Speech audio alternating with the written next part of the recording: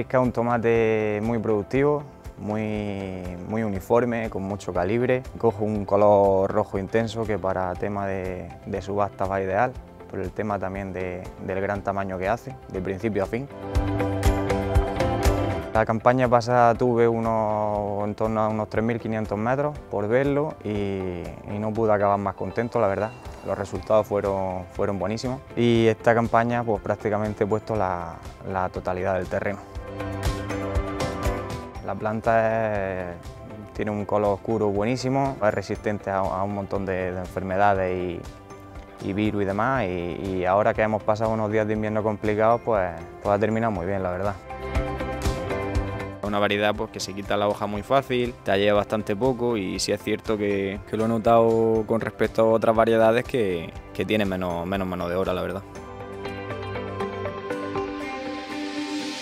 Luego un fruto también que tuvo muy buena aceptación el año pasado en el tema comercial. Es verdad que, que habiendo risca en la subasta se lo van llevando de, de los primeros cortes y es una tranquilidad el hecho de que tenga tan buena post cosecha.